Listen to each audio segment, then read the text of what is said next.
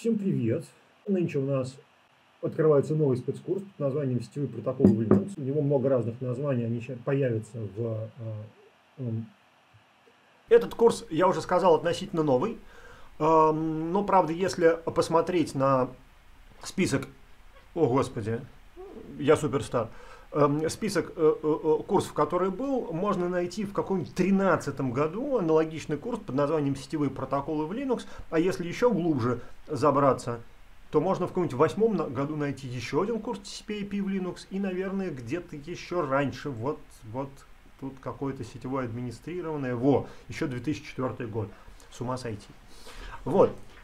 Значит, э, то есть тема, с одной стороны, конечно, для меня не новая, а с другой стороны, понятное дело, что за последние 8 лет, в общем, довольно много чего поменялось, при том э, и относительно того, как рассказывать про этот ваш TCP/IP и что рассказывать. Вот. Мы с вами э, будем просто ручками делать всякие штуки, связанные с сетью на Linux машинками, и машинками у нас будут служить VirtualBox. Но у меня есть такая привычка, прежде чем, видите, у нас лекция нулевая условная, условно, э, прежде чем, кстати, да, нулевая, э, прежде чем поговорить про, собственно, эти сетевые протоколы, э, я постараюсь сейчас вот а перед вами провернуть трюк, который называется TCP/IP за 40 минут, вот, и попытаюсь объяснить, почему, как так случилось, что сетевые протоколы приняли вот такую форму, которую мы с вами знаем. А, я по возможности буду пользоваться какими-нибудь подручными средствами для рисования, но тут я а, а, третьего дня обнаружил багу позорную совершенно и никак ее не могу поправить, так что если мой инструмент будет периодически галлюцинировать, извините, да, значит, надо поправить багу. Причем она везде, эта бага, то есть, возможно, это самый инструмент глючит. Вот. А, значит, в чем идея? Идея состоит в том, что мы хотим с вами построить компьютерную сеть. Как вообще может выглядеть компьютерная сеть? Да, что это вообще такое? Компьютерная сеть, ну, в нашем с вами понимании, это когда у нас есть э, множество компьютеров, которые умеют передавать друг другу данные. Совершенно идиотское определение, наверняка есть определение получше, но э, мне в данном случае мне в данном случае интересна э, э, э, реально вот обычная проблема. Вот у нас есть один компьютер, вот у нас есть второй компьютер, вот у нас есть непонятное между ними расстояние, в котором что-то происходит, то есть, ну, сейчас найдем. Вот. Ну, правда, между ними есть что-то, понимаете? Там, какие-то между ними есть, значит, кусочки чего-то. Вот. Да? Ну, в общем, что-то что, -то, там происходит. Вот. И нам нужно сделать так, чтобы можно было с одного компьютера на другой передавать какие-то данные. Взять и вот, значит, прям вот как-то взять и вот, вот, вот как-то, как-то вот, вот rs. Только не так, а вот так. Что для этого нужно сделать? Мне кажется, что когда проблема передачи компьютер, данных между компьютерами не стояла и была чисто теоретической, э, идеи э, относительно того, как это можно сделать, выглядели одним э, образом и вылились в известный нам семиуровневый стек протоколов и SOASI, про которые, в общем, э, очень часто в теоретических лекциях рассказывают. Довольно удобная штука, вот такая конструкция. У нее есть один недостаток, у, у нее либо нет практической реализации, либо ее практическая реализация, в общем, а, а, оказалась крайне неэффективной. Вот. Так вот, мне кажется, что конкретно стек протоколов TCP/IP вырос из решения вот этой задачи, я бы сказал, естественным путем. Вот. Вот этот естественный путь мы сейчас попробуем и проделать. Так вот, значит, э, э, передача данных между компьютерами. В первую очередь, какую проблему номер один нам нужно решить? С помощью чего вообще эти данные передаются? Вот что является носителем э, данных? Вот, потому что носителем данных может быть очень разные, очень разные конструкции. Вот. Эм, где-то в 90-х годах было исследование относительно того, какие, э, какой носитель данных, с помощью чего передавать дистанционно между компьютерной информацию эффективнее всего в смысле скорости, в смысле не скорости, а э, скорости делен, в смысле объем, деленный на, на, на время, да, скорости передачи данных. И выяснилось, что самый правильный способ это загрузить грузовик дешевыми винчестерами. То есть, если у нас э, как бы нету э, других требований, а есть только требования время деленное, э, это самое объем деленный на время, да, то грузовик, груженный винчестерами, это самый эффективный вариант. Вот сейчас, кстати, это не так, как я понимаю. Вот. Эм, да, так вот, значит, э, э, уберем отсюда машину, чтобы э, вам не казалось, что мы будем говорить про носитель данных в виде автомобиля. А, но могут быть и другие варианты, разумеется. Ну, например, мы все с вами знаем, что одним из довольно популярных носителей данных являются специально обработанные провода. Вот. Желательно, чтобы там был не один провод, а несколько, потому что внутри этих проводов там, сигнал кодируется так, так что мы э, значит, э, можем довольно эффективно и быстро передавать по нему нолики и единички. Или, например, мы знаем, что э, может передавать по воздуху с помощью радиосигнала, с помощью особым образом закодированного. Или мы знаем, что может передавать по оптическому вакууму. Вот выбор носителя данных, то есть э, той сущности, которая занимается переноской, переноской данных, да, это и есть этап номер один – вот, э, который означает для нас решение проблемы э, передачи данных. Параметры носителя. Причем э, эти параметры довольно важная вещь. Это совершенно никак не, не, не относится к тому, как именно будут передаваться наши вот, данные впоследствии, да, но идея о том, что выбрать носитель для вот этой картинки нужно, вот из чего состоит вот эта стрелка, да, это важная идея. А, на этом же уровне нам надо решить одну фундаментальную задачу э, построения сетей данных, от которой будет зависеть все наше дальнейшее путешествие. Эта задача нам надо выбрать, что мы собираемся разделять. Мы собираемся разделять э, каналы передачи данных между нашими абонентами, или мы собираемся разделять э, сами данные – что я имею в виду? Представьте себе, что в нашей сети не два компьютера, а много. Давайте мы откроем, погуглим слово сеть, оно нам понадобится. Сеть. На картинках. Во. Да, значит, вот видите, тут у нас, значит, представлены всевозможные конфигурации. Причем, как видите, слово сеть ну, как бы, у, у каждого из нас свой собственный Google, большой брат следит за нами, да, и слово сеть, э, мне даже фильм сеть не выдает а, почти, э, не говоря уже о рыбацких сетях, которые появляются очень редко, да, а в основном выдает компьютерная сеть. Так вот, хорошо, когда компьютер 2. Сеть между этими компьютерами выглядит в виде одного провода или не провода, или грузовика, неважно. Понятно откуда, понятно куда, возможно обратно, тут все очевидно. Но, как правило, даже если у нас вполне маленькая такая сеточка, то есть носитель, носитель один и тот же, да, э, в среде передачи данных присутствует более одного абонента. Вот. И когда мы говорим о принятии решений коммутации каналов или коммутации данных, э, речь идет вот о чем. Предположим, абонент А хочет передавать данные абоненту Б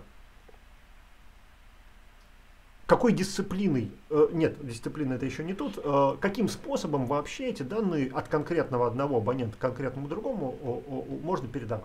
Самый простой способ, разумеется, это соединить все абоненты друг с другом э, каналами передачи данных по типу каждый с каждым. Вот. Не самая плохая идея, на самом-то деле, ежели таких абонентов мало. Ну, потому что мы знаем, что у, у, у такого полносвязанной сети, у, у этого К-графа, этот самый экспоненциальный, э, нет, господи, эм, квадратичный рост. Да? Ну, то есть, для там 10, эм, для 10, даже для 10 абонентов это уже будет, что там, 10 умножить на 9 пополам 45 каналов, да? Вот. А для тысячи это уже, уже будет порядка полумиллиона каналов, что, в общем, многовастенько, прям скажем. Вот. Это не самая плохая идея, на самом деле э, э, э, в какой-то момент была реализована в многопроцессорных системах, причем в многопроцессорных системах с небольшим количеством процессоров, вот там условно говоря 8-16, да? вот, потому что тогда у нас отпадает вообще необходимость в каких-то в, каком, в какой-то коммутации, в каком-то разделении. У каждого, для каждого вида связи абонентов в нашей среде передачи данных, а связь собственный канал. Вот. Этот вариант мы отбрасываем как э, не, э, э, не негодный. Вот. И э, э, пробуем какой-нибудь другой вариант. Какой-нибудь другой вариант состоит в том, что у нас есть сеть, ну, тут у нас земной шарик посередине, это плохая картина. Тут везде посередине земной шарик, отстой. А, но мне нужна топология типа звезда. Вот, сейчас мы ее найдем. Во.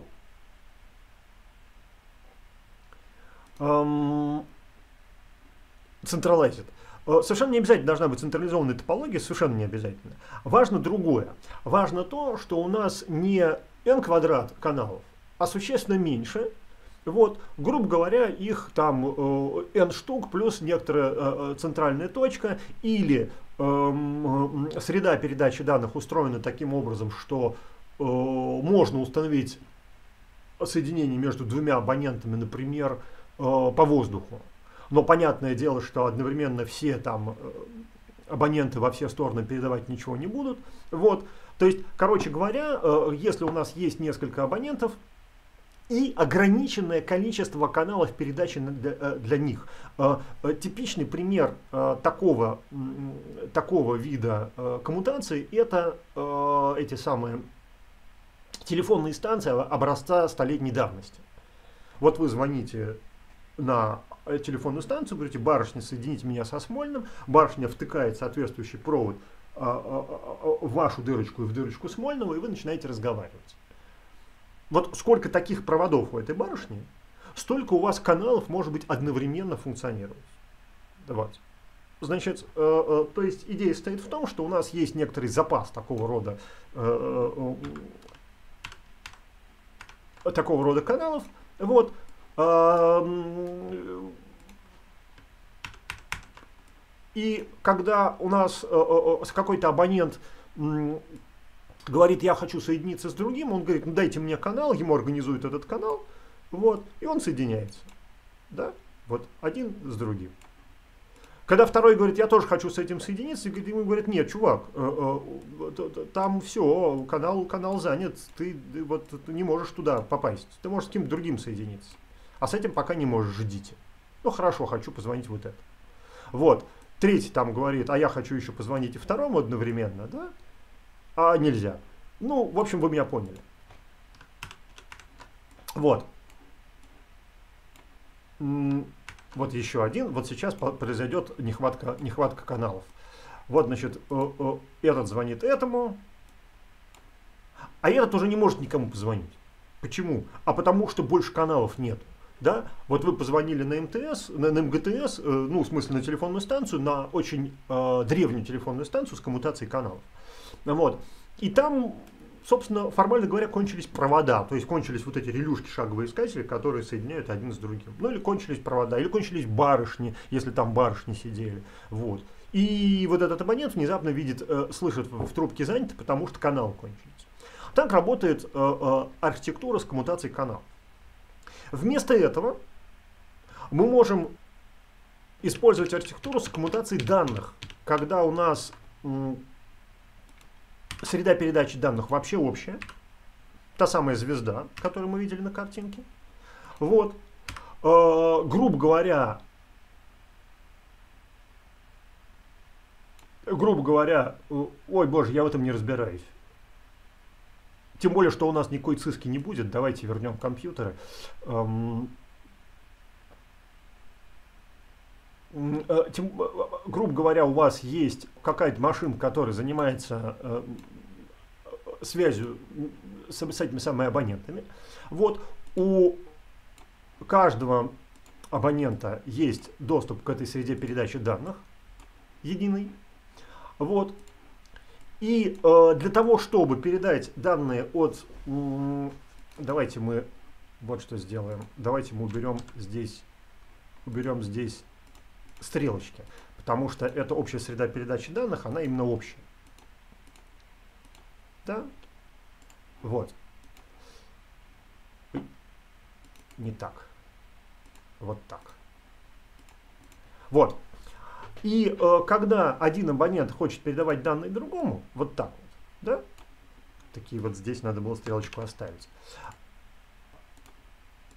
И вот так вот. То он э, э вместо того, чтобы, э, ну вот, вот, вот это он хочет сделать. Но этого не бывает, это такое достаточно виртуальное понятие. Да? Нам нужно передать через общую среду все. Давайте мы сделаем, знаете как? Мы сделаем здесь вот вот так вот, чтобы, чтобы было понятно, что это такой виртуальный вас. А он должен и не только один, еще и другой так делает, да, вот и второй, нет, да, и второй абонент тоже хочет в это время передавать данные какому-то другому абоненту.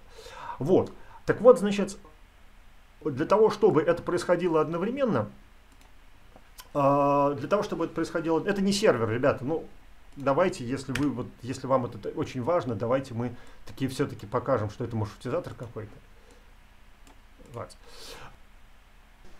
Э, э, если вам, да, так вот, значит, для того, чтобы это могло происходить одновременно, выбирается стратегия коммутации данных.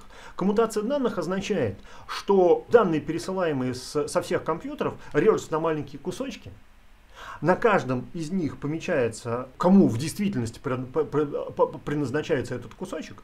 Дальше все это складывается в общую среду передачи данных. А дальше логика работы этой среды передачи данных, собственно, определяет, э, определяет адресата. Вот. Правда сказать, на уровне первом, который мы тут договорились считать уровнем носителя, да? уровень носителя, уровень среды передачи данных, эта проблема не возникает. Э, на уровне первом мы договорились о том, как сигнал, как вообще устроены провода, как устроен наш носитель, и как, этот, как сигнал кодируется. То есть, э, э, смотрите, по проводу можно передавать там нолик и единички, причем нолик там, допустим, отсутствие напряжения, единичка наличие напряжения, а можно делать не так, можно там делать как в коаксиальных кабелях стоячую волну и делать эту самую амплитудную модуляцию этой волны, а можно делать частотную модуляцию, а можно передавать высокочастотный сигнал с частотной модуляцией и так далее, и так далее, и так далее. Мы должны договориться о том, как, а, а, а, собственно, в этой среде передачи данных, что является данными. Вот. Э, это вторая задач, которые мы должны решить э, на уровне среды. Вот. И э, есть еще некоторая подзадача в этой задаче, это надежное представление. Мы вот в следующей лекции поговорим про скроблинг, вот про такие вот штуки. То есть идея стоит в том, что мы не просто должны там измыслить, как-то вот из головы вынуть э, э, то, как мы передаем данные по проводам. А еще э, подумать над тем, как при передаче по этим проводам обеспечить наибольший вариант надежности, наибольший вариант эффективности. Понятное дело, что всегда есть потери, всегда есть шум, всегда есть то, всегда есть все. Ну вот надо подумать над тем, как формат передачи данных и э, наше изобретение по кодированию данных внутри нашей среды передачи данных будет э, э, э значит, наиболее эффективным. Однако мы уже нашли проблему в этом месте, которая за 40 минут у меня ничего не получится, сразу скажу. Мы уже нашли эту проблему. Эта проблема называется проблема подключения. То есть, э, окей, вот среда, вот компьютер. Что происходит в том месте, где, вот в этом месте, да, где компьютер подключается к среде передачи данных, вот в этой красной точечке. Почему это проблема?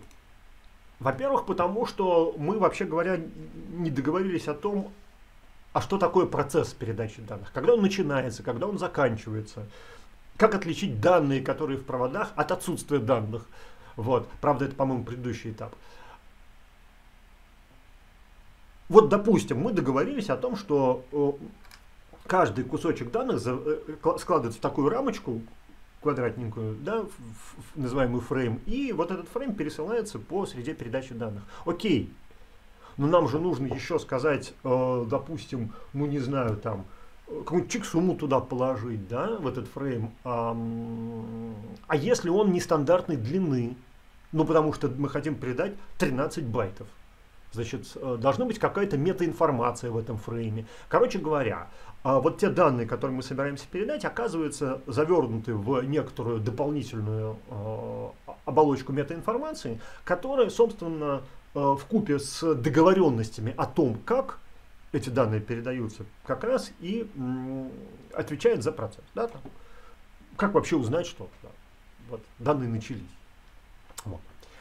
Помимо этого, помимо того, что мы должны договориться о том, что такое, собственно, э, передача данных, например, завернуть их в метаинформацию, назвать его фреймом, есть еще одна проблема, это дисциплина использования среды. Вот мы это видим э, в полный рост. Помните, когда было два компьютера, нам не, не было нужды разбираться, кому предназначены данные. Если тот компьютер, который слева передает данные, значит они предназначены для того, который справа.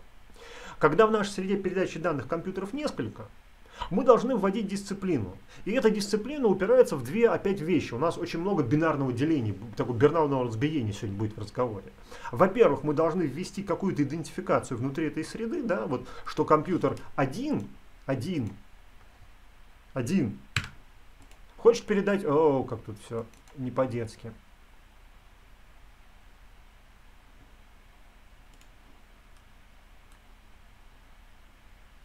Давайте хотя бы 24.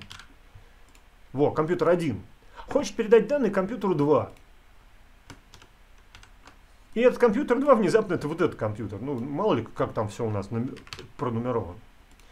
Вот. Чтобы компьютер 1 смог передать данные компьютер 2 в единой среде передачи данных, где у нас абонентов больше двух, нам нужно договориться об идентификации. И это тоже пойдет в метаинформацию в нашем фрейме. Вот. И о том, что делать, когда параллельно, одновременно с вот этой передачей, компьютер 3 тоже захочет передать данные компьютеру 2 или компьютеру 4. Ну, короче говоря, как, собственно, происходит э, та самая коммутация данных, о необходимости которой мы с вами договорились на предыдущем этапе. Тут тоже много разных дисциплин есть. Можно, например, запретить передачу данных, пока идет передача данных между вот этими двумя компьютерами.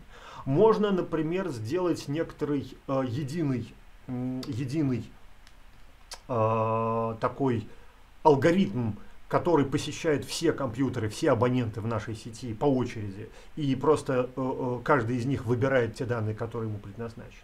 Можно делать э, одновременную широковещательную рассылку на все компьютеры, и каждый будет выбирать, э, если параметры среды это позволяют, да, какой-нибудь CDN, этот, как его, ну, короче, в общем, в общем, врать сейчас не буду, в следующей лекции попробую вспомнить нужные термины. Вариантов дофига. Вам главное, что мы должны решить эту задачу. Итак, на втором уровне, на уровне подключения к среде передачи данных, в данном случае компьютера, решаются две задачи. Про то, как, собственно, сам процесс передачи данных устроен. Ну вот мы, значит, договариваемся, что есть фреймы, у фреймов такие-то поля, да, там, значит,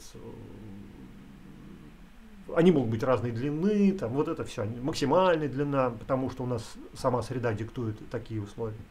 И дисциплина использования этой среды, которая вводит понятие идентификации, понятие, э, когда можно, когда нельзя, ну, короче, алгоритм. Вот. Если бы вы не видели план лекции, я бы задал вопрос, о чем? Мы уже, кажется, решили задачу организации компьютерной сети. Смотрите, вот у нас среда. В этой среде любой компьютер может передавать данные любому. Не этого ли мы, э, собственно, добивались? Но в действительности э, э, до какой-то степени да, но тут есть одна важная проблема, э, которую где-то поначалу всей вот этой сетевой технологии никто, в общем, решать не собирался.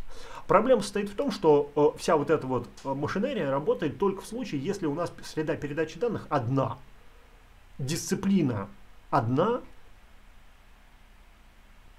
любой абонент может получить доступ к любому другому абоненту в рамках этой среды передачи данных, ну, разумеется, если хватает ресурсов и так дальше, и так дальше. То есть проблема вот в этом, э, вот, вот, вот, вот, вот в пачке, вот, вот в этой пачке, да? Давайте уберем эти стрелочки, чтобы никто, никто нас... Вот, вот, вот в этом. Единая среда передачи данных. Пока разговор идет о единой среде передачи данных, все шикарно. Как только выясняется, что таких сред передачи данных у нас в нашей глобальной компьютерной сети, условно говоря, очень много, да? То есть, ну вот, ну реально, вот смотрите. А в действительности все это выглядит вовсе не так, да? В действительности это выглядит, э, сейчас найдем, вот. Только уберем фон. В действительности это выглядит немножко по-другому. В действительности у нас есть одна среда передачи данных, которая коммуницирует с другой средой передачи данных, в которой есть свои абоненты, да, свои э, эти самые... Отстань противные. Да, вот. Свои абоненты, свои, э, э, э, своя архитектура, свой, возможно, другой носитель данных. В общем, все свое. А еще она коммуницирует с третьей, с четвертой, ну и так дальше. Вот э, на этой картинке сеть, вот, наверное, вот это вот э, э, более или менее, то есть они все тут малоадекватные, к сожалению. Тут, э, да, ну вот, вот, вот эта вот картинка может быть чуть более понятна. Значит, тут какой-то, вот, вот уберем вот эту часть слева, которая написана интернет, и вот видите, вот эта вот желтенькая фигня, это единая среда передачи данных. Вот эта желтенькая фигня, это еще одна единая среда передачи данных. Вот эта желтенькая фигня, еще одна средина, единая среда передачи данных.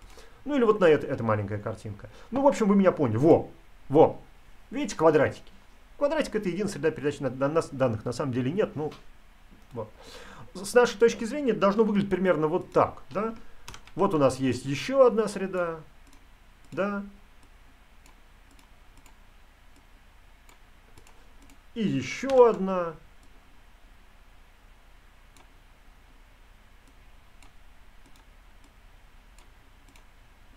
Вот, давайте сейчас я дорисую. Да дорисую я сейчас ну и так дальше. И они как-то друг с другом связаны. Некоторые связаны, некоторые не связаны. Это вот все вот э, волшебное какое-то такое. Да? При этом э, э, неприятность состоит в том, что, ну как неприятность, челлендж, состоит в том, что мы должны научиться на самом деле передавать данные. Давайте вот так сделаем.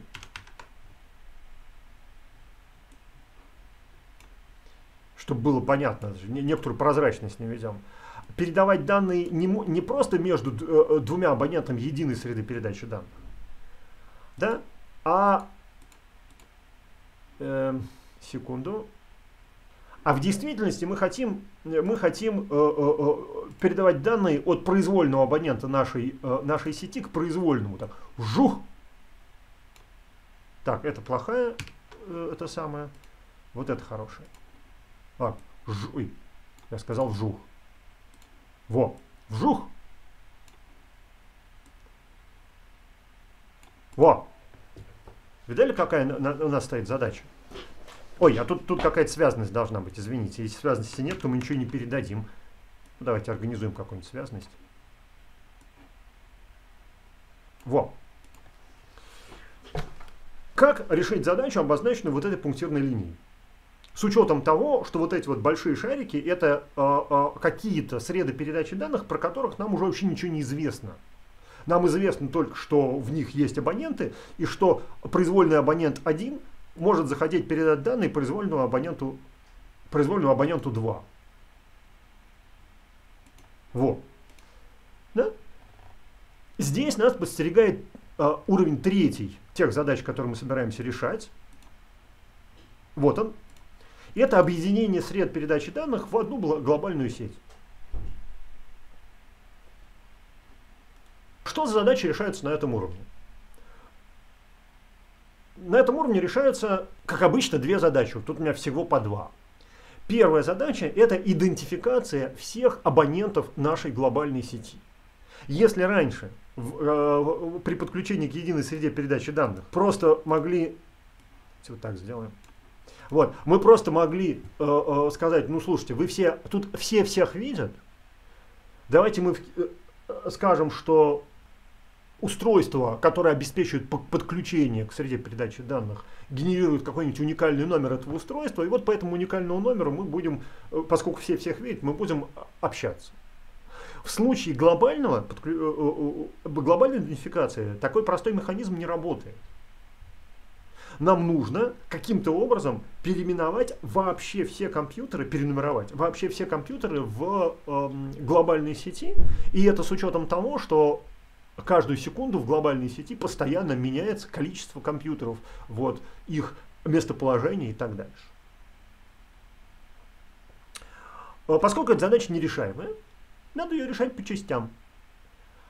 Часть номер первая состоит в том, что мы вводим новую систему, общую систему идентификации.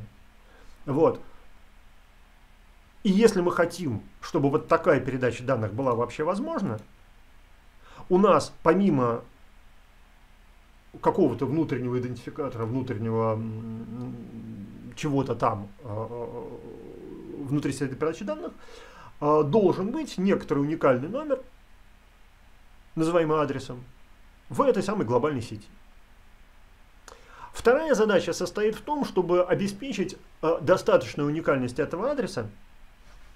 Вот. Ну, например, не знаю, способов на свете много решений этой задачи. Ну, например, сделать так, что эм, часть адресов вообще должны быть не уникальны, мы просто должны их преобразовывать в нормальные, где-то там, вот где-то вот здесь, вот, вот у нас вот по ходу. Вот. А другая, э, другой способ решения стоит в том, что все адреса выдаются какой-нибудь специальной организации, которая за этим следит. Понятное дело, что организация не будет вызывать адреса по штуке, она иначе просто рухнет под э, запросом она просто передает целый диапазон адресов другой организации, допустим, которая владеет вот такой вот эм, средой передачи данных, говорит, у тебя тут, пожалуйста, 256 адресов, делай с ними что хочешь. И эта другая организация раздает эти 256 адресов внутри этих компьютеров, вот. Ну а дальше, в общем, все более-менее понятно. И это первая половина, нижняя половина задачи э, э, э, организации глобальной сети, то есть объединения сред передачи данных в единую сеть. Вторая половина – это обеспечение связности этой сети. Это задача маршрутизации. Смотрите, чтобы вот эта передача от абонента 1 к абоненту 2 была вообще возможна, в данном случае это э, происходит с помощью передачи отсюда. Давайте мы потолще сделаем. Во да? отсюда вот сюда, причем какому-то конкретному абоненту, возможно, даже не одному внутри этой фигни, да? возможно, там есть два абонента, которые еще друг другу будут передавать всю, всю эту ерунду. Понимаете, какая интересная штука? Вот, возможно, то есть в действительности это, может быть, происходит вот так, да? Вот. Это мы не знаем мы, как абонент номер один, уже не заморачиваемся такими вещами. Возможно, в действительности происходила вот такая картинка. Это передавал этому, а этот уже передавал этому. И вот здесь тоже, да? Вот. Нам нужен механизм, который бы позволил, а, построить этот маршрут, вообще построить, Потому что, повторяю, ну, сейчас повтор, не повторю, сейчас скажу, почему, почему, это, почему слово вообще звучит. Вот. Э, и Б, э, который бы определил, что такая, такая связь вообще возможна, потому что вот мы взяли и захотели связаться с абонентом вот этой, вот этой среды передачи данных, а там ничего, как бы, связанности-то нету. Вот. Ну, вот, то есть, э, верхняя половина тоже делится на две подзадачи и, э, и, э, э, маршрутизация и обеспечение связности. И эти задачи тоже решаются всякими разнообразными способами. Например, если наша глобальная сеть небольшая, можно иметь так называемый full view, взять и составить полную таблицу всех маршрутов отовсюду повсюду. Эта идея хороша тем, что тут же можно решить задачу связности, ибо каждый раз перестраивая такую таблицу, мы будем опрашивать все наши абоненты на предмет того, вообще доступны они или нет. Если они недоступны, сразу говорить, ага, вот по этому маршруту абонент недоступен. Понятное дело, что для интернета это работает, ну, хреноватенько. Вот, э, потому что, ну, в общем, хреноватенько. Э, можно поступить по-другому. Можно сказать так. Вот внутри такой штуки Для простоты назовем внутри среды передачи данных, хотя там может быть несколько таких сред просто под единым администрированием. Все маршруты мы как бы знаем, как устроены. Мы знаем, как с этого компьютера попасть на этот. Мы знаем, что если, допустим, там несколько сред передачи данных, но они все под единой, под единой администрацией, мы знаем, как из э, одной среды попасть в другую, вот, э, э, э и, через какой компьютер это делается – все мы это знаем. Так, так, то, то есть это, это не проблема. Да? А вот если э, мы говорим, что мы хотим связаться с каким-то абонентом, про которого мы ничего не знаем, мы говорим, окей, у нас есть маршрут по умолчанию, и этот маршрут по умолчанию ведет куда-то вот сюда. Вот. Да? Если мы знаем маршрут, он Пробит у нас, если мы не знаем, мы просто отсылаем на деревню дедушки, точнее, причем знаем, какому конкретно девушке, дедушке отсылать. Эм, как обычно, э, э, э, любая задача сегодня делится на две части, потому что вот эта эскалация наверх, ну понятно, да, вот мы знаем про нашу локальную сеть, если не знаем, отсылаем пакет эм, в маршрутизатору, который знает больше, если он тоже не знает, он отсылает еще, который знает еще больше. Понятное дело, что тот, который знает много про всех, он мало знает про каждого.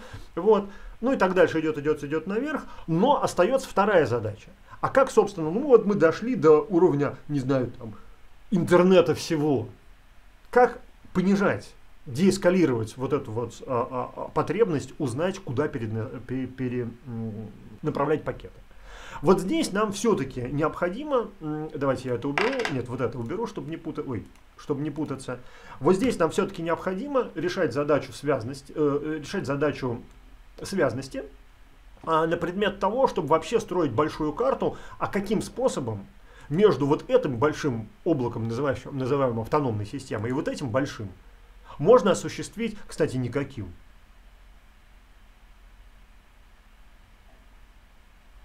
А, можно вот сюда, сюда и сюда. Можно осуществить э, э, связь. Да? Вот, например, э, кто-то должен иметь в голове э, геометрию относительно того, что динамически, что вот, чтобы попасть сюда, пакет нужно переслать именно сюда.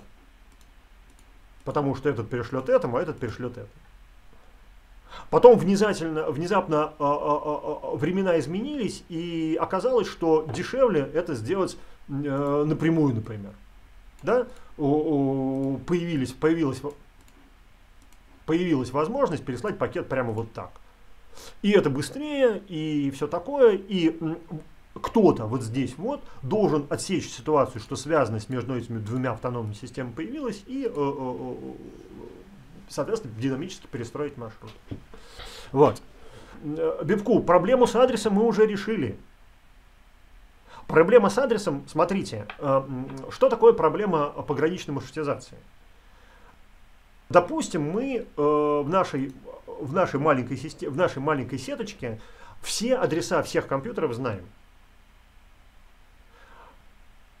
И мы знаем, что если вот в эту подсетку направлять пакеты, то они приходят через этот компьютер.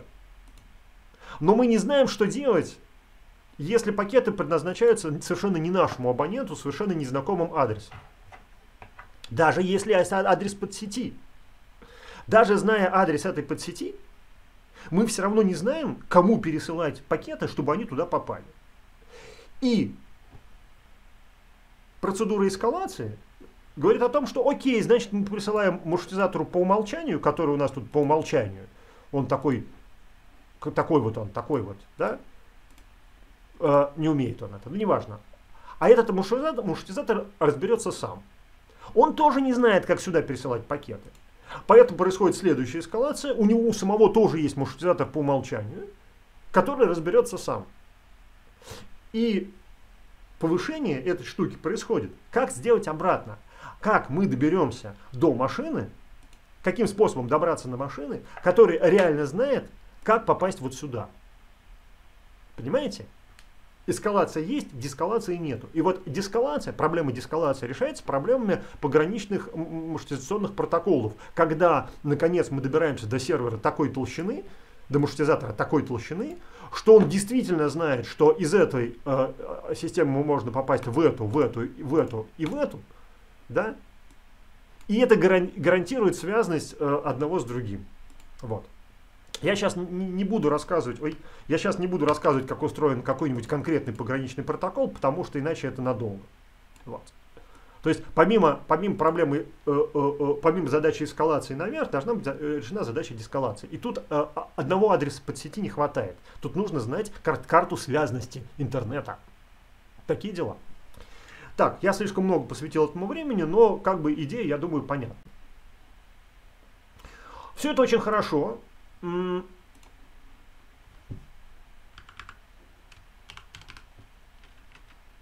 Вот. Давайте подумаем над тем, а что, собственно, мы, что, собственно, мы, чего мы добились. Мы добились того факта, что между вот этой штукой и вот, этой, вот этим абонентом, вот этим абонентом чисто теоретически можно передавать данные. То есть, если вообще эта связанность есть, а не нету. Вот она сейчас есть, да, а сейчас ее нету а сейчас есть. Так вот, если вообще эта связанность есть, то мы теперь знаем, как пакеты до этого самого э, э, абонента доберутся. Потому что у нас есть адрес этого абонента, и потому что у нас есть какие-то правила по выбору маршрута. И этот маршрут простроится. Если связанности нет, он, разумеется, не простроится. Соответственно, какую задачу мы не решили?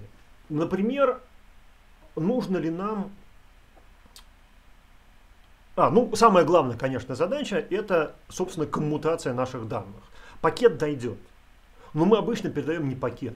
Обычно мы передаем некий произвольного размера кусок данных, который вполне возможно в пакет не влезает.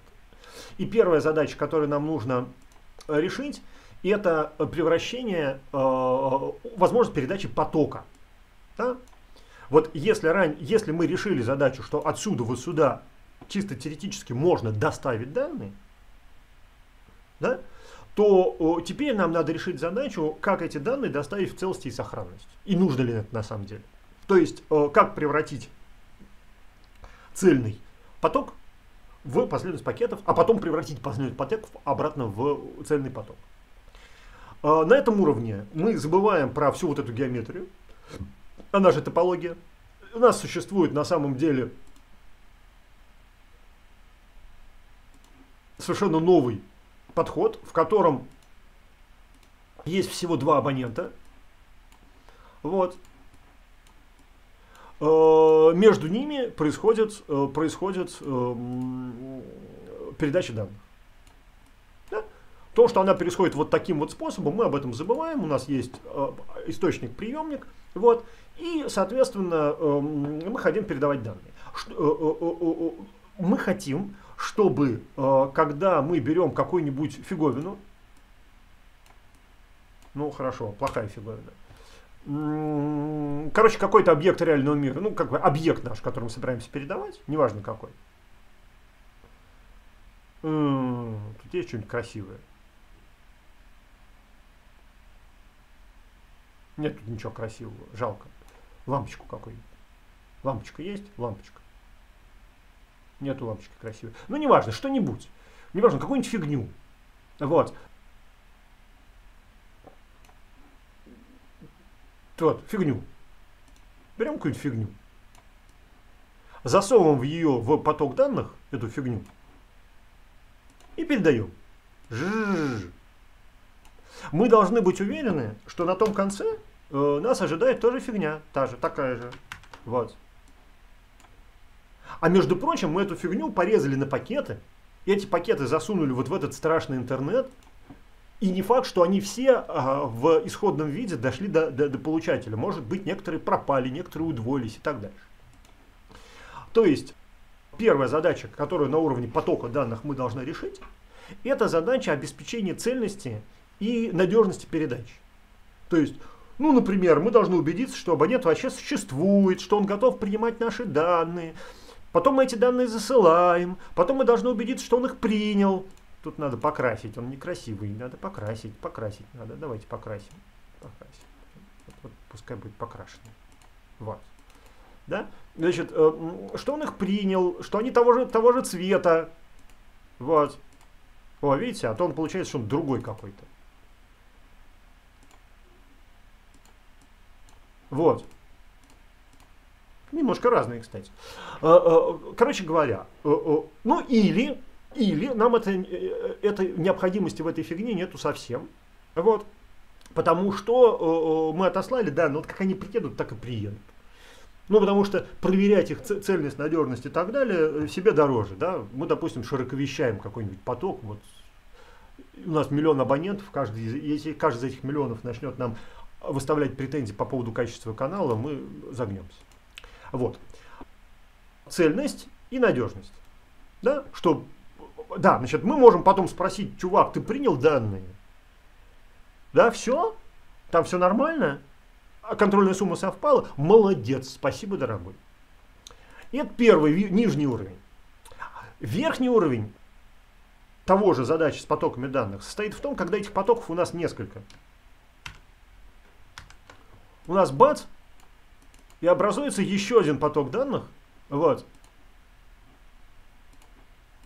которые мы передаем от того же компьютера, от того же абонента тому же абоненту. Да? Жух. Обратите внимание, что это на, уровне четвертом, на уровне э, работы с потоками, два различных потока. На уровне третьем, на уровне а, оби, обеспечения связности, маршрут-то, в общем, один и тот же. Ну или даже все хуже, он может поменяться в процессе передачи одного и того же потока.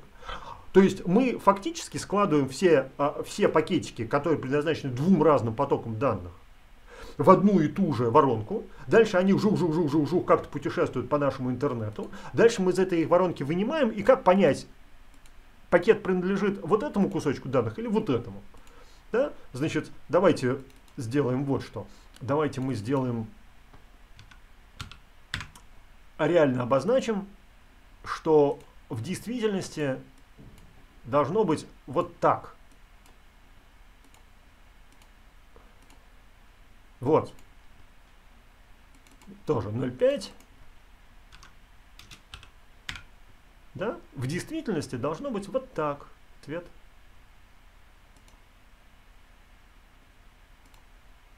А, вот цвет.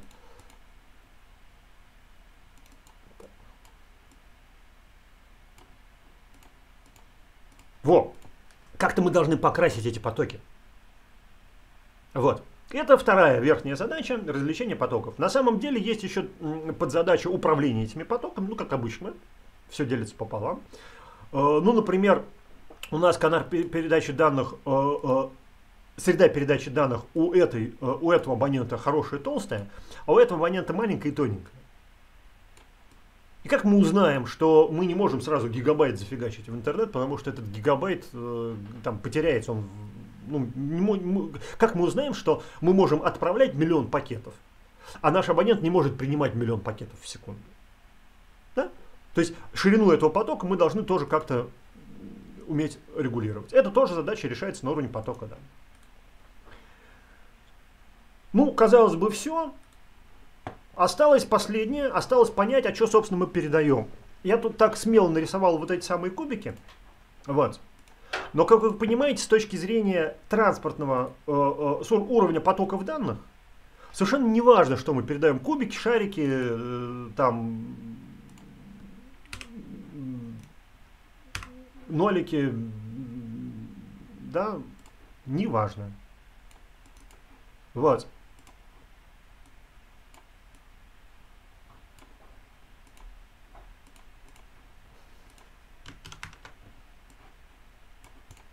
Да? Э, от того, что я поменял э, объект, который мы передаем, все, все задачи, которые мы решаем на уровне потоков, не изменились от слова совсем. Это также точно поток, мы их точно так же различаем, мы точно так же э,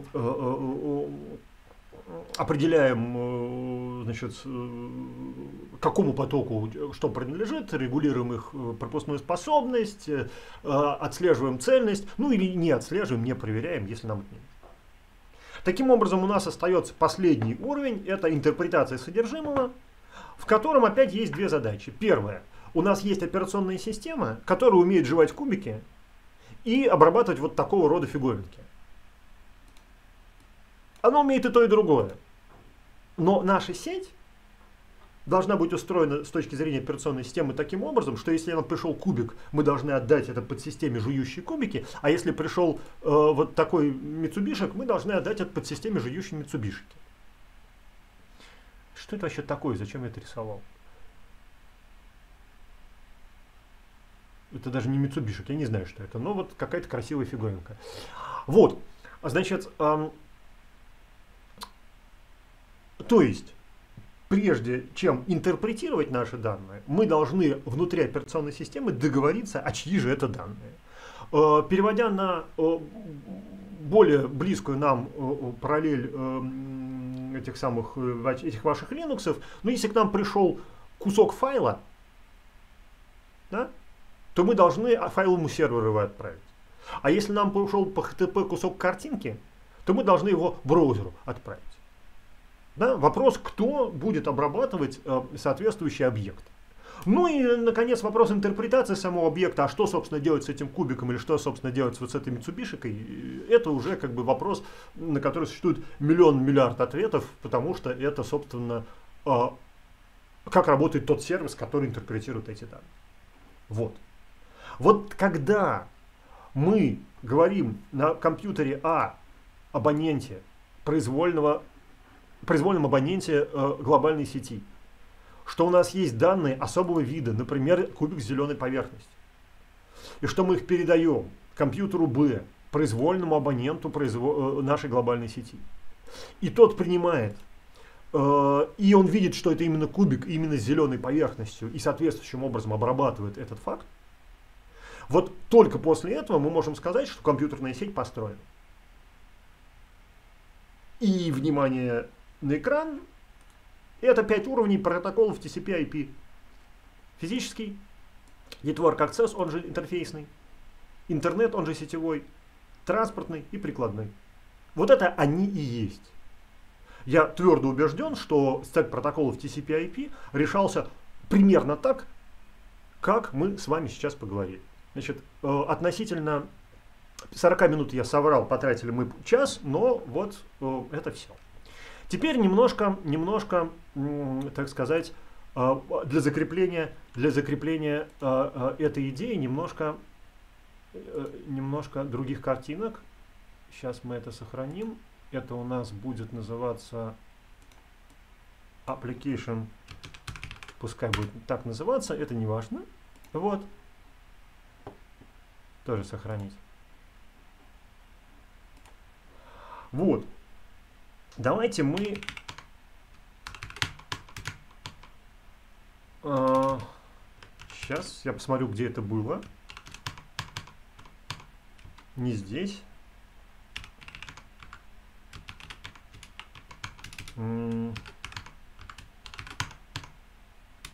Здесь. Во. Итак, э, значит, немножко, немножко э, э, сменим картинку. Что перед нами на картинке? Перед нами носитель данных, который несет куда-то данные. Ну, вот мы говорили, что нам надо решать проблему носителя. Вот на уровне носителя данных мы выбрали почтового голубя. Вот. Он носит данные, видите, он держит в когтях какие-то данные, засунутые, засунутые в, в, в рамочку. Да? Вот. Эм, что мы можем сказать про этого носителя? Э, во-первых, что у него Э, да, есть PIP по глубинной почте, там все очень аккуратно написано. Вот. Эм, я поэтому голуби выбрал. Э, что можно сказать про этого носителя? Про этого носителя можно сказать, что, во-первых, он может не очень большую рамочку нести, потому что он, ну, голубь, хилый. Вот. Ну и не очень маленькую, все-таки, наверное, специально выбирали таких голубей, которые хорошо носят. Вот. Во-вторых, что он что-то несет, какой-то фрейм у него в, в, в когтях находится. Поэтому, если мы отвлечемся от носителя а с носителем все понятно, он чего-то куда-то несет, да? он умеет носить. И перейдем с уровня эм, среды передачи данных на уровень, собственно, подключения, на уровень того, что он носит. То есть рассмотрим фрейм, рамочку, которую он тащит. Мы увидим эту рамочку. Давайте посмотрим на фрейм. Фрейм это, как мы понимаем, уровень, уровень подключения, уровень э, интерфейсный. И в этом фрейме написано, что э, наш голубь летит из, из голубятни раз, два, три, четыре, пять, шесть в голубятню 5, 2, 4, 3, 2, 2. Возможно, в среде передачи данных есть две такие голубятни, возможно, больше. Мы с вами знаем, что голубь на самом деле может только возвращаться, но это детали. В любом случае, в нашем фрейме, э, э, э, наш фрейм соответствует единой среде передачи данных, в которой есть два уникальных идентификатора абонента этой среды. Вот. И мы знаем, что этот фрейм сейчас в данный момент доставляется вот отсюда, вот сюда. Понятное дело, что это не имеет отношения к проблеме сетевой, потому что э, это все то, что знает лично голубь. Лично голубь летает из этой голубятни вон в ту. Возможно, еще в три, там, который он знает. Вот. Это уровень, соответственно, интерфейсный, мы разглядываем фрейм. Что находится внутри фрейма? Внутри фрейма находится, как вы понимаете, пакет, Здесь я не стал писать, э, э, просто не успел. Вот вместо куда и кому, разумеется, это адрес отправителя, адрес получателя этого пакета. Короче, тут так было написать от кого и кому. И вот это от кого и кому содержит как раз уникальные идентификаторы в рамках всей сети, э, кто и кому посылает. Как фрейм, содержащий этот пакет, дойдет до абонента, а никак. Фрейм не доходит до абонента, фрейм летает между голубятнями. Некоторые внешние правила, именуемые маршрутизацией, говорят нам о том, что делать с... Вот мы взяли этот фрейм, посмотрели в пакет, это наш пакет, вот это куда? Это нам? Нет, не нам. Окей, закатали в следующий фрейм, отправили со следующим голубем в следующую среду передачи данных.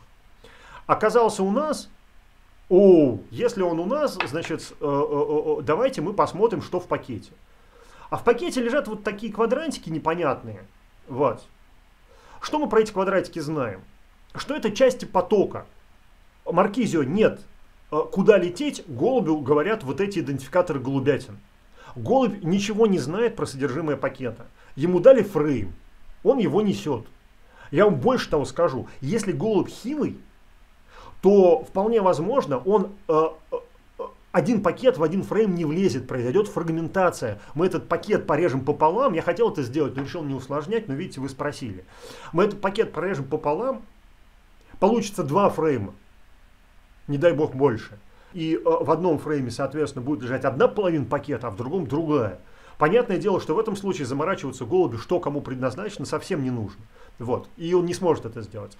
У голуби все просто. Давайте мы сейчас откроем соответствующую картинку. Эм, голубь летает внутри э, одной... А, не будем открывать там, где я закрыл, ну неважно. Голубь летает внутри одной среды передачи данных. Вот отсюда, вот сюда он летает.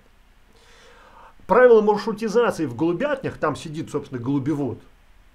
Именно голубевод, вынимая пакет из фрейма, смотрит, куда и кому а, куда и кому этот пакет нужен. И если он э, отправлен прямо на эту голубятню, то произойдет дальнейшая декапсуляция.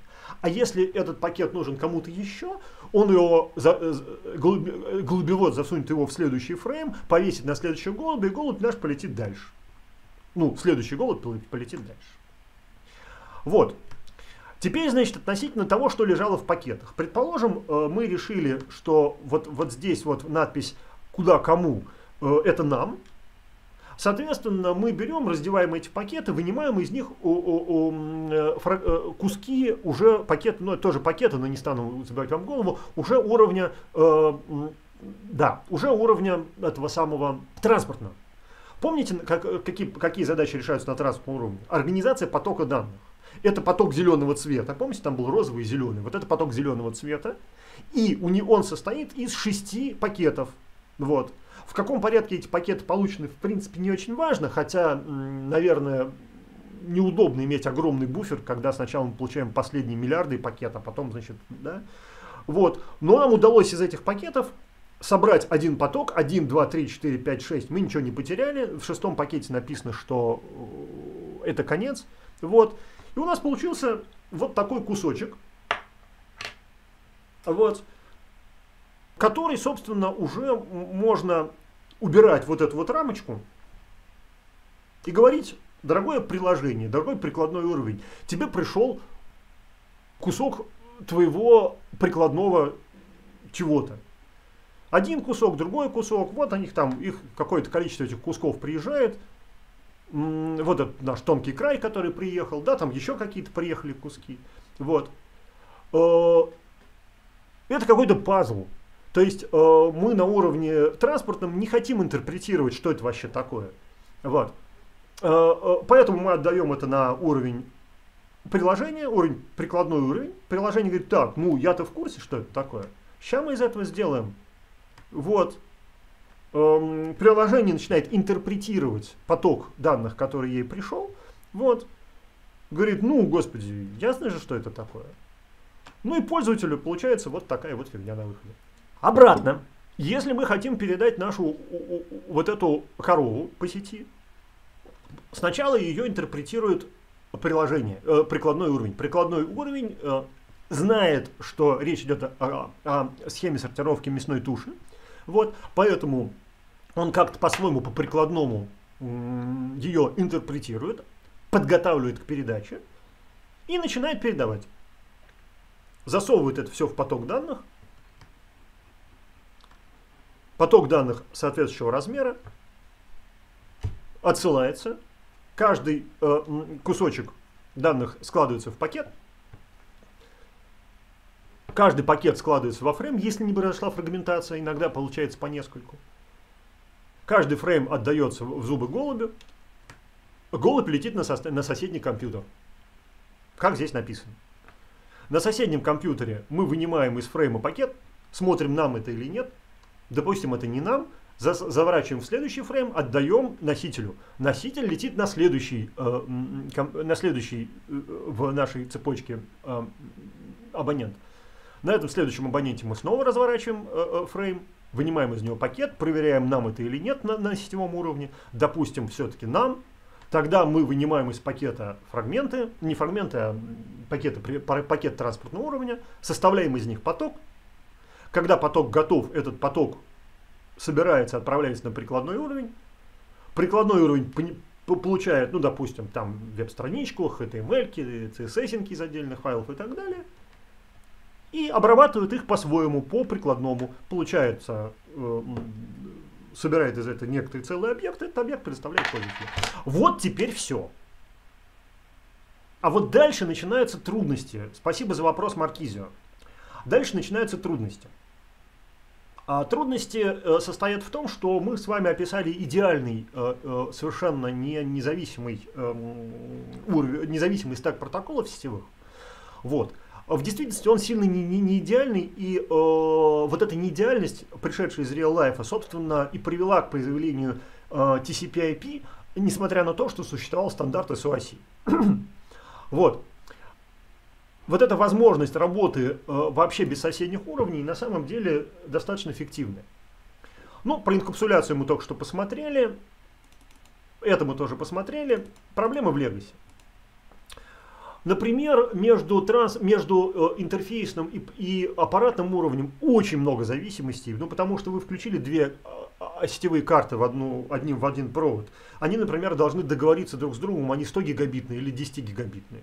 Вот эта гигабитность, это понятие а, аппаратное, понятие носителя. А договариваются они на, извините, на интерфейсном уровне, потому что иначе никак. Вот. Или, например, эм, э, вот то, что спрашивает Маркизио каков размер, каков размер должен быть вот у этого, у этого пакета, у этого квадратика. Оказывается, этот размер зависит, знаете от чего? От самого дохлого голубя по дороге. То есть от того, каков размер, максимальный размер фрейма, МТУ, максимум трансфер юнит, по всей дороге случится. Вот если там есть, часто это, знаете, когда бывают такие проблемы, сказать, туннелирование, туннель в туннеле, чем больше туннелей в туннеле, в туннеле, в туннеле, тем, соответственно, эм, меньше объем того, что он может э, в этот туннель засунуть, при, ну, как бы, потому что больше метаданных. Вот. То есть у нас есть зависимость мощности вот этого, точнее не так, пропускной способности этого голубя, да, и э, размера вот этого кусочка, который на транспортном уровне э, э, будет создан. Так называемая проблема МТУ. Вот. Она есть. А, обратите внимание, аж через два уровня. А, а, ну, практически через три, да, вот. Вот. Так что да. Вот. Э, что еще? Эм, Да, да, да, да, да, да, да, Бибку, ровно, ровно оно, что на самом деле э, как бы э, э, в Ethernet помещается 1500, то есть изернетный голубь, голубь тащит 1500 э, э, октетов, а если в нем внутри туннелька, то э, вот эти 40 октетов уходят на описание метод данных туннельки, и, соответственно, то, что внутри него, уже только 1460 октетов гоняет. Вот это все правильно говорить. Вот. Что еще можно сказать, прежде чем мы с вами закончим? А, у нас еще 15 минут, отлично. Значит, все вот это потихонечку расшатывается в современном мире. Есть такая отдельная совершенно тема программно определяемые сети. Вот, заниматься мы и с вами не будем, но это ситуация, когда вы относитесь к всему вот этому стеку протоколов, ко всему, или к какой-то его части, произвольно взятой как к носителю. Например, у вас есть очень хорошо, очень качественно друг с другом связанные компьютеры в единой среде передачи данных, и дальше говорите, а зачем нам вести TCP/IP в этом месте? Сейчас мы свое накрутим. Маркизио спрашивает, а не может быть, быть, быть так, что метаданные больше пакета? Да сплошь и рядом. Вы передаете 3 байта. Меньше, чем один пакет, э, меньше, чем один пакет э, не Э, э, на это не потратится. А в пакете данных дофига. Там метаинформация на метаинформации лежит, метаинформация погоняет. Андрейка, э, важный вопрос. Можно менять МТУ на маршрутизаторе, но обратите внимание на слово маршрутизатор. Слово маршрутизатор это какого уровня термин? Давайте мы на это посмотрим. Ну, вы сами можете узнать. Это термин уровня сетевого. Да? Что такое МТУ с точки зрения, э, с точки зрения нашего голубя? Это размер фрейма максимальный. Это какого уровня термин? Это у, термин уровня интерфейсного. Сколько может унести наш, наш носитель. В каком месте мы сталкиваемся с этой проблемой? В проблеме э, разделения потока данных на отдельные пакеты. А это четвертого уровня. То есть у нас в проблеме э, МТУ Discovery э, участвуют э, три уровня протоколов, четвертый, третий и второй. Вот. И об э, какой-то независимости между ними уже речь идет, ну так, условно. Вот. СДН рассказал, значит, это ситуация, когда к какому-то подмножеству этих протоколов мы относимся только как к носителю, а дальше поверх них придумаем свою собственную логику. А, еще одна забавная история. Это реальные сетевики, они у нас еще возникнут э, в, вот, в разговоре про TCP. Э, дело в том, что когда у вас через ваше сетевое устройство происходят миллиарды каких-то соединений, то в действительности все понятия надежности, эффективности и так далее работают абсолютно по-другому. Ну, например, вы можете терять пакеты из TCP. Хотя по идее, нельзя терять пакеты из TCP. Это будет не TCP, если они оттуда теряются. Но да, на реальном железе, когда у вас миллиарды пакетов, они теряются. И что-то с этим надо делать. Вот. А, еще одна тенденция это все, все HTTP. Вот а, а, сейчас очень много того, что люди называют сетью, на самом деле это такие штуки в браузере. Вот. И всевозможные жуткие протоколы по передаче данных, вот, и всякое такое, вот, э, весь этот, эм, как он там называется-то, господи,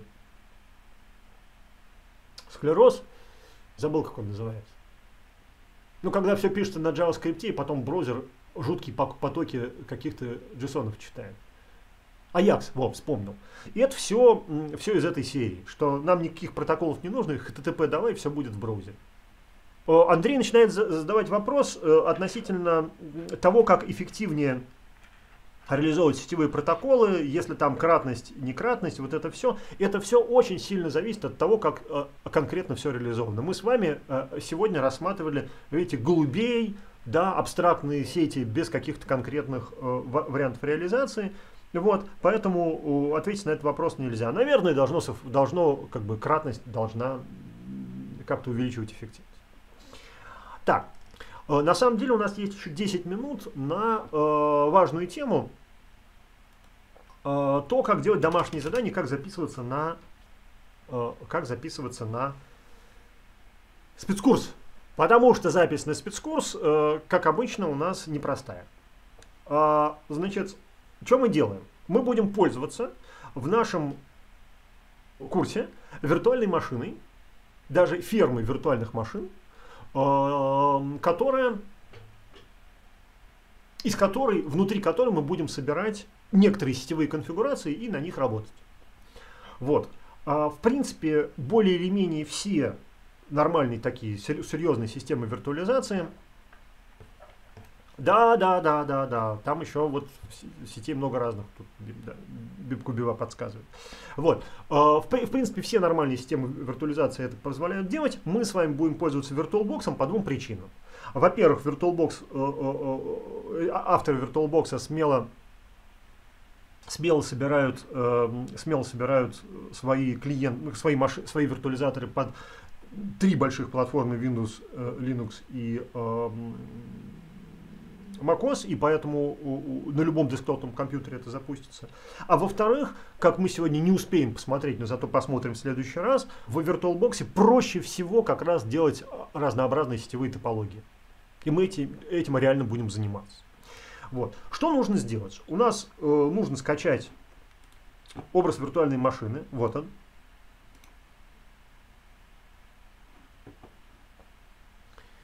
Эм, поимпортировать его. Давайте мы его проимпортируем. Э, делается это с помощью команды в box manage, импорт, вот эта вся фигня. Только вот тут неправильно написано, давайте мы это сделать поправим вот здесь вот. Или надо переименовать, или что, но в общем, давайте так сделаем. Вот. А можно из гуя сделать, кстати. Давайте из гуя сделаю ради, ради, ради интереса. Хотя, давайте в бокс в бокс image, нет, в бокс manage, конечно, импорт, эм,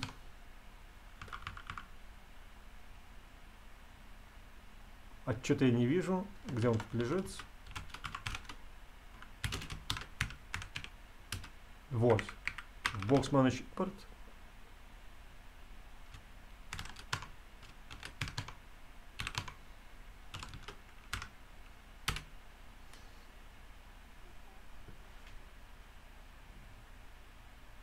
Вот он его распаковывает.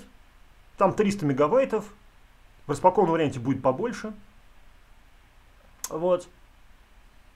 Successful import. Давайте посмотрим, что у нас, что он показывает. Во, смотрите, вот это тот, который был, а это э, я его задампил э, и проимпортировал. Вот, значит, э, мы э, обсуждали вопрос, нужен ли нам GUI э, в этом, просто для того, чтобы чувствовать себя комфортно.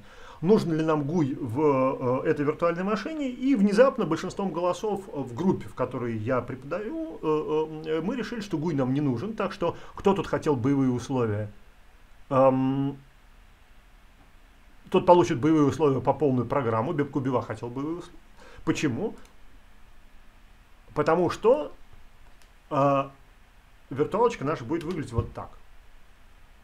Отсутствие гуя позволяет сделать еще меньше памяти, э, всего, 3, всего 300 мегабайтов образ для, для скачки э, против там порядка 2 гигабайтов. Ну, короче говоря, э, вот таких машин я на своей машинке, на своем ноутбуке, который покупал несколько лет назад, вот таких машин я могу десятка-два виртуальных запустить одновременно, совершенно не парить. Вот. Эм, вот, вот, а, а с чем мы будем иметь дело. Мы с вами попробуем э, в какой-то момент чуть более удобно э, устроить себе интерфейс, э, если довольно много всякого редактирования требуется на машинке. Вот. Но, как бы это сказать, тем не менее, вот, да. Значит, у этого пользователя root и пароль у него root. Не делайте так никогда в боевой системе, но, как вы понимаете, это виртуалочка для экспериментов, так можно. И в качестве записи на спецкурс нужно проделать следующую вещь. Нужно сказать вид, сделать снимок экрана и прислать этот снимок экрана мне по почте с указанием ФИО, э, кто там у нас, э, группа, если вы из, не из университета, факультет и так дальше. Вот, прислать его, сейчас скажу кому, не скажу кому. Э, сегодня напишу, кому присылать. Виктор, Tmux э, скрин хорошая очень штука, возможно будут, да, э, мы посмотрим, как у нас будет идти, с какой скоростью у нас будет идти наш разговор про, сетя, про, сети, про сети, если мы доберемся до ситуации, когда нам уже будет легко заходить в нашу топологию по, по ССХ и там работать, то да, будут, вот.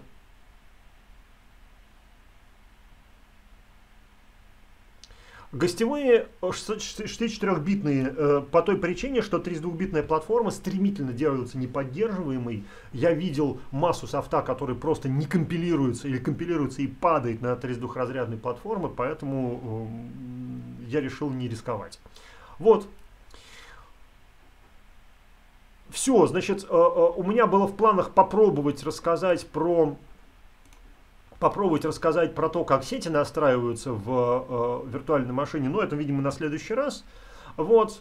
Э, и как клонируются, пока что пускай будет одна. Э, напоминаю, э, запись на спецкурс это снимок скриншота по, по адресу почтовому, который я укажу. Это не мой основной адрес, это мой факультетский. Вот. И, соответственно, вот этот вот скриншот, который мы с вами сделали. Давайте я на нее посмотрю. Да. Так, давайте мы, во-первых, его остановим. Во-первых, мы ее остановим.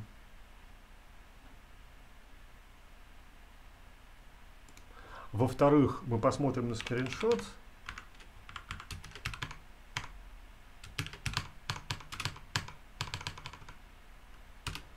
Вот он. Вот его надо прислать.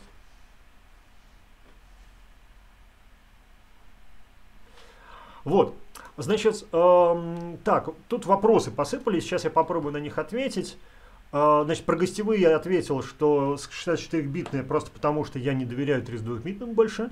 Эм, про Tmux скрин я сказал, что, скорее всего, про Tmux, ну, скажем, скажем так, про Tmux будет, если мы доберемся до такой необходимости. А, что такое линки по ССХ, я не знаю, но про ССХ точно будет разговор, и не только здесь, еще и в курсе по питончику, вернее, по гиту, потому что там он тоже нужен, так что если вы ходите туда и туда, вы ходите туда и туда, то э, все это вас ожидает в количестве. Вот. Всевозможные GNS3 я даже трогать не буду, ну их все нафиг, у нас тема не, не Cisco, а, а Linux, мы будем работать со всеми сетями в Linux, напоминаю, Linux такая штука, такая операционная система и такое ядро, в которой можно сделать вообще все, что можно сделать с этими вашими сетями. В большинстве случаев даже референсы сначала пишутся на Linux, а потом уже начинаются какие-то оптимизации. Вот. А иногда не начинаются и работает это прямо так. Поэтому есть, конечно, исключения типа Cisco и Juniper, но там даже, даже там ситуация такая, что люди сначала смотрят, как это работает, ну, в во, во, во, во. Маркизи уже начал меня благодарить, это он намекает, что у нас время заканчивается. Там люди смотрят, как это в принципе работает, и дальше реализуют.